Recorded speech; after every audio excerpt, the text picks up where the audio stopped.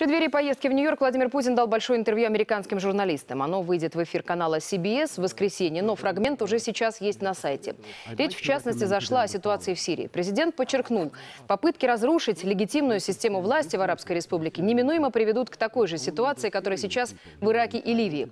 Единственный путь решения кризиса – это укрепление действующих государственных институтов и оказание им помощи в борьбе с терроризмом. Конечно, одновременно, отметил президент, надо и подталкивать их к реформам, обсуждать, побуждать к диалогу со здоровой частью оппозиции. Некоторые детали о поездке Владимира Путина на 70-ю сессию Генассамблеи рассказал сегодня на брифинге помощник президента Юрий Ушаков. В частности, подтвердил, что на полях мероприятия президент проведет встречу со своим американским коллегой. До последнего времени было неясно, состоится ли она.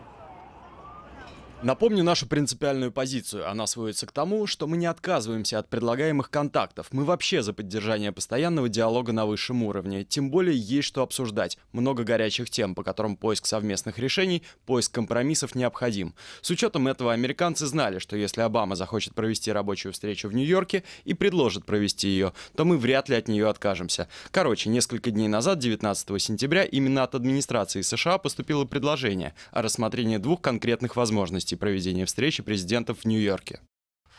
По словам Ушакова, российская сторона готова к обсуждению широкого круга тем. Самая актуальная ситуация на Ближнем Востоке и сирийская проблема. Пойдет речь, скорее всего, и об украинском кризисе. Кроме того, в планах Владимира Путина провести встречи с генеральным секретарем ООН Пан Ги Муном и премьером Японии Синзу Абе.